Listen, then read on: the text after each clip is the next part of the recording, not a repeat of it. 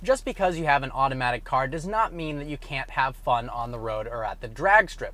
While it's not as difficult to launch as a manual vehicle, of course, there are some tips that you can use to get off the line as quickly as possible. The first step is to activate sport mode. I'm in an E93 BMW 3 Series, so to do that, you push the lever while you're in drive over to the left. Some cars, it's a button, others, you turn a dial. Some don't even have it, so if your car doesn't, don't worry about this step.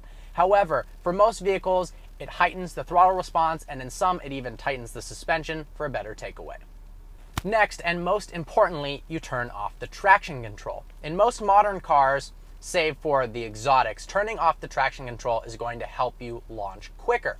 To do that in this car, you press the DTC button and hold it for about 10 seconds, and you get an indicator that's a little triangle with an exclamation point.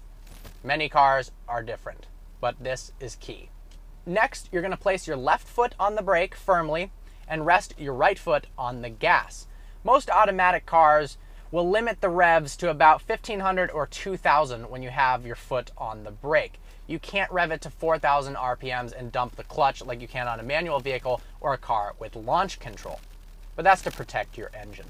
So with your left foot on the brake, rev it up to 1500 RPMs, and when the third yellow light goes at the drag strip on the Christmas tree, release the brake with your left foot and floor the gas.